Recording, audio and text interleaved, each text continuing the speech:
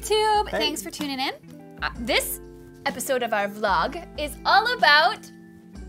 You're supposed to say your name. Sam. It's Sam. Sam is the newest member of the Pianote team, and we're very, very excited to have him. And you should be too, because Sam, I guess you're okay. Well, I appreciate that. Thank you. Yeah, it's a lot of fun. Okay, so Sam, let's let's let's tell our friends a little bit about you. Well, I like uh, just creating um, and exploring different sounds. I'm I went to school for music, went to school for jazz piano. So jazz. Piano. Yeah. So I I learned lots. Yeah, learned lots, and I'm able to create stuff now.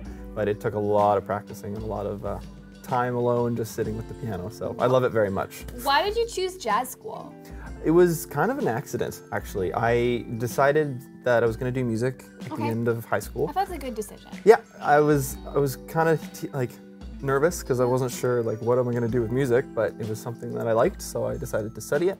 And then four years later, fell in love with it even more, and now I'm here. So it's it's it was a good decision, and I'm very happy that I chose it because there's just so many cool things you can do with music, and there's so much to learn. So. I feel like it's really exciting because I'm not like super jazzy. I mean, like I'm a jazz person. Can't play jazz on the piano. Yeah, that's fair. Um, so I'm really excited to have Sam here so that he can teach you um, how to, you know, play the jazz things. And mm. composition's another thing that you're really into too. Yes, I mm-hmm. love writing music. Like um, for films, like film for film scoring. Yeah, that's okay. like my big, big, big goal. Like, is to at least have one film where I've written music in it. So that's kind of my goal. Okay. Um, but as of right now, I just like composing for small bands or groups or anything like that. So it's, it's fun. It's, it's, fun to share music and put stuff on paper so you can play it again. Okay, so, yeah. Cool. Um, speaking of paper, oh, I have yes. some paper right here. Well, nice segue. Thanks. And I wrote some questions. Um, okay, so we're gonna do this like fun little question thing so you guys can learn a little bit more about me and a little bit more about Sam. Whew. Um, so we're both gonna answer these questions. Okay. Favorite key signature? E flat major.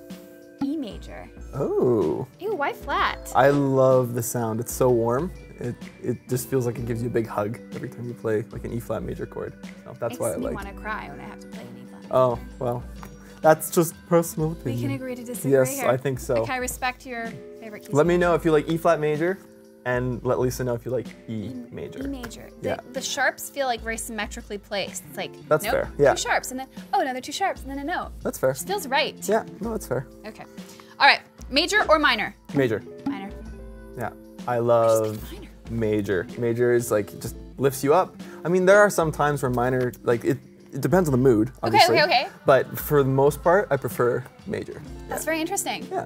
I prefer minor. That's interesting. I think because my mood is usually like, oh, yeah. I need to like balance that out. Hmm.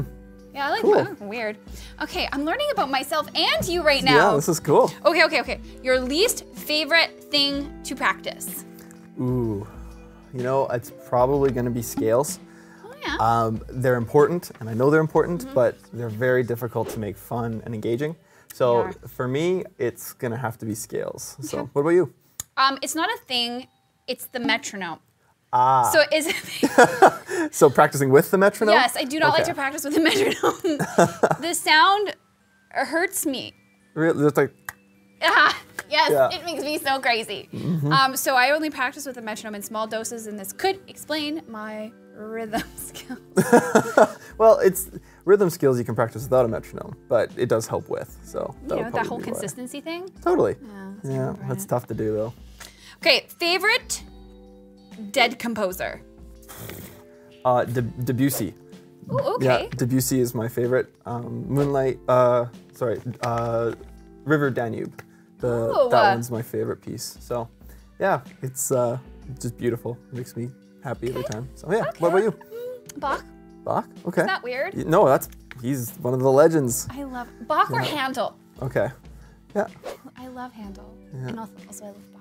Yeah, well, Bach, like he was the guy that started uh, like the classical movement, so he's he's kind of like man. he's the king, if you want to call him that. King of classical. Okay, so we know our favorite dead composer. What about a favorite modern composer? Ooh, that's a really good one. Um, I've been into a lot of really complicated um, piano parts the last few years um, because it's really interesting to hear different rhythms and different melodies kind of over top of each other. Okay. So super advanced stuff, but uh, Jacob Collier, really like Jacob Collier. I'd have to agree with you. Um, Yeah, there. and um, I think I'll have to stay with, just with that. There's a few others, but I'll just stick with Jacob for now. I think yeah. like I kind of meet you, but I'm gonna go like. She's not really a composer. Can songwriters be composers? Oh, absolutely. Okay, then you know what? I love Sara Bareilles. I love her. That's fair. Yeah. She's so good. Mm-hmm. She wrote all the music for Waitress. Right? So good. And it's all so good. So good. Oh my gosh. Okay. Okay, okay, these are some easy ones. Okay. So this is like a sweet or salty question. Chips, like as in potato chips? Yes. Or chocolate? I'm gonna have to go with chips. Chocolate. Yeah, I love chips. I can I can devour a chip bag like that. No, at least we don't have to worry about protecting your chips or my chocolate. Yep, Okay, we're, we can we fine. can just yeah. Okay. Dogs or we're good. cats? Dogs. Dogs. Yeah. Okay, absolutely. 100% Cats are freaky. Uh, cats are okay sometimes, but a lot of the times they just get mad for no reason. Eat- It's like why? Birds. Oh, is that? It's, they're just they just eat birds. Vicious little hunters. True. Okay, fair enough. Dogs I, are just yeah, smugglers. I love dogs. Dogs are my favorite. okay, Justin Bieber or Ed Sheeran? oh, Ed Sheeran, hands down. The guy can loop anything. Ah, okay, so I agree with you. I agree. So I agree. good. Okay, okay, okay. Shout out to you, Ed. What? I'm just shouting out Oh, to Ed Sheeran. Oh yeah. Good job, Ed. Yeah. Okay. Um, favorite genre Uh huh. versus your most hated genre. Well, actually, okay, this is an interesting question because I like a lot of genres of music. Okay. Um, you only get one of each. I know, Sam. and it's very difficult. You have to pick. If I was to pick one, I actually really, really enjoy uh, classical music. Yeah, I love listening to classical music. Playing classical music is very difficult Yes. because yes. it's very rigid, and I like exploring sounds and playing jazz. So Mm-hmm. playing, I like jazz, but listening, and if I was to pick one, Okay. classical music for sure. And then the least favorite is probably, like I said, I like everything and like can listen to a lot of stuff, but metal. Metal's probably my least favorite. There's some good metal songs, but overall, like hardcore metal music, that's not something I'm super into. So You're gonna agree. yeah, Metal makes me feel upset, real upset. yeah. Actually, though, I like um that '80s metal though. Okay, yeah. The hair, hair is it hair hair metal? Hair metal. I always think hairspray because '80s hairspray. Where you just like shake your head around. the hair metal. like- I think yeah. it's fabulous. I actually have. I love the. I love the hair metal. That's fair. Mm-hmm. Yeah, but yeah, metal music is probably my least favorite. But there is good songs in metal music that I listen to, so Well, you know, Sam, that's very politically correct of you. I appreciate it. Yeah, Mm-hmm. don't want to make everybody angry. I do. I don't like metal at all, except for the hair metal. And also, my favorite genre is probably like indie folk. Okay. Because like yeah, I yeah, love yeah. Joni Mitchell and Bob Oh. Dylan. So those are like actually at the core will be folk. There you go. I'm a folk girl. what song would be on repeat if you were being tortured? Pro- uh, this yeah, this is a tough question. Probably Barbie girl. yeah. Aqua song? Yeah. So when I'm really like wanting to help you have a good day, I can like just sing, I'm a Barbie girl. Well, like once in a while is okay, but if it was on repeat, it's fantastic. Yeah. No, couldn't do it. Okay, No, okay. would not be fun. Okay, mine's about you? um Old Town Road.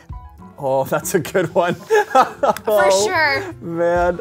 Like, I don't know. I- I, think some people are going to be pretty, pretty upset with that though, because that's a I good song. I apologize if I've hurt your feelings. yes, But I hate it so much. it's. I mean, it has a good beat. I respect, like I respect the like creative genius that created that song. Mm-hmm. Mad respect. Very out of the box thinking. yeah, Yeah. but my kid plays it on the piano because I mean Oh, that's the only thing I ever taught him on the piano, and that's what he's doing. He's just playing all the time. I'm like, I'm never giving you another piano lesson ever again in your whole life because this. Oh man. I'm just joking. I'm totally gonna teach him how to play. It's like okay, okay, okay. Um, how do you feel about pineapple on pizza? yes.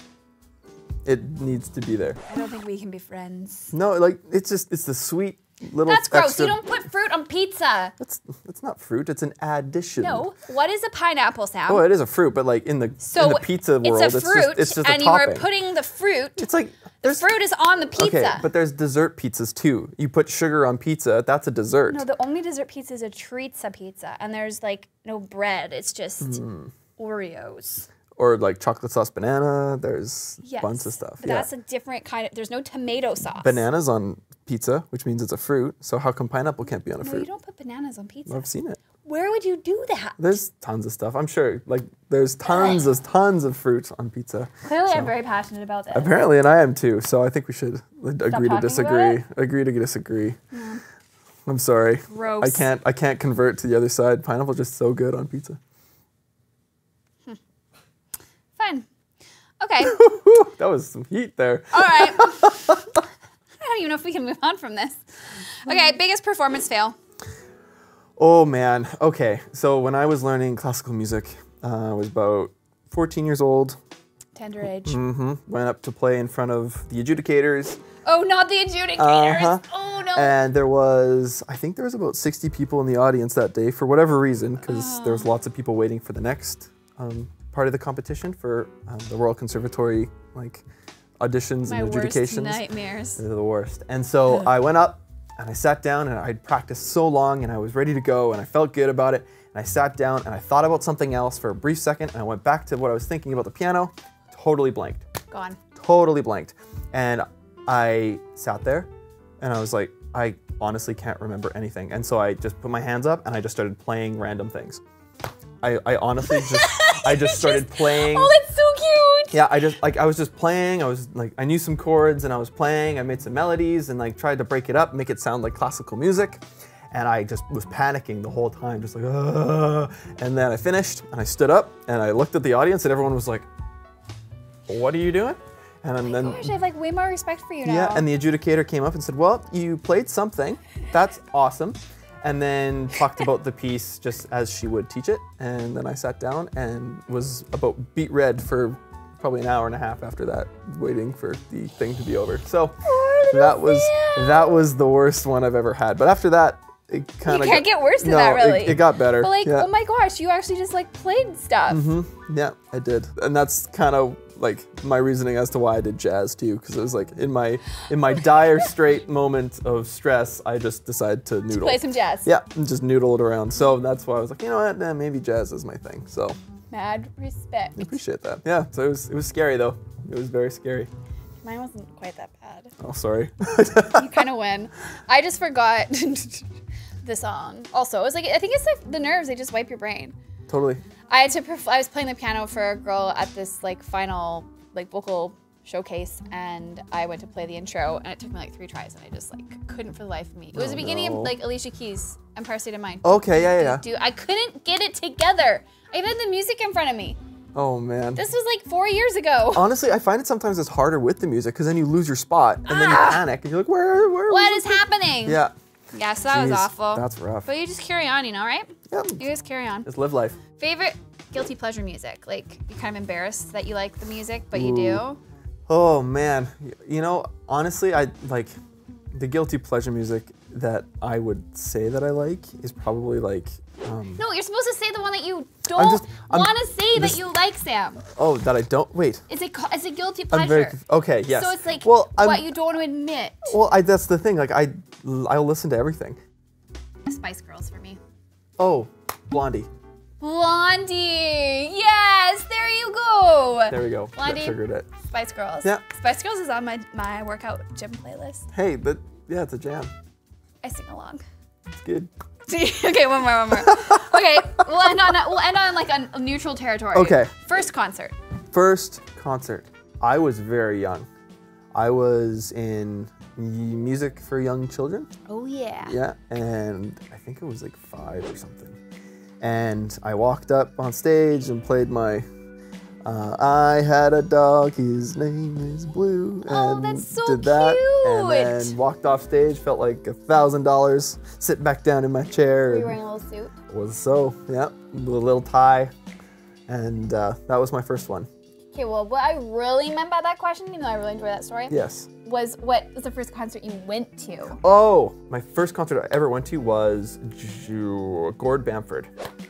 He is a country singer from Lacombe, and he came to uh, my hometown, uh, which was Red Deer, Alberta, and it was in this little small stage. And I just remember listening to country music and be like, I want to do that, and It sing and inspired you? yeah, and something with that. And so I learned guitar because of that show, and sat and played guitar for hours and hours and hours and hours and hours, and then That's so great. Alanis Morissette. really, Mm-hmm. Wow, I would never guessed. I know that was because I was kind of like in touch with like my more angry, darker side as a young teen. Okay. Yeah, I would say it wasn't always all sunshine and rainbows. So I loved Alanis Morissette, and I'd get like I'd like sing along. I could like imitate her voice perfectly. Okay. And so I convinced my parents to let me to go to a Alanis Morissette concert. Really? It was fabulous. Can you still do the voice? Oh yeah, but I'm not doing it right now. Okay. No. Okay. We'll say that for another time. Maybe another time. I feel like I just need like a little time to like really Warm up. prepare. Yeah, that's fair. It's been a while. I'm out of touch. That's fair. Yeah, I understand. Wow. Okay, Well, so that was I- fun. I feel like yeah, I feel like our friends know us better now. I agree. Yeah. I hope that you still want to be our friends. Hope so. Even though Sam, especially, not even though, especially since Sam likes pineapple on his pizza. Well, it's good. I I stand by it. Fine. Um, anyways, you're gonna see lots more of Sam in the Pianote members area on our YouTube channel. If you have any lesson requests that have to do with the world of jazz, be sure to comment below with them. Welcome him, give him a big warm welcome to our community. Thanks for watching, and we'll see you around. Bye bye.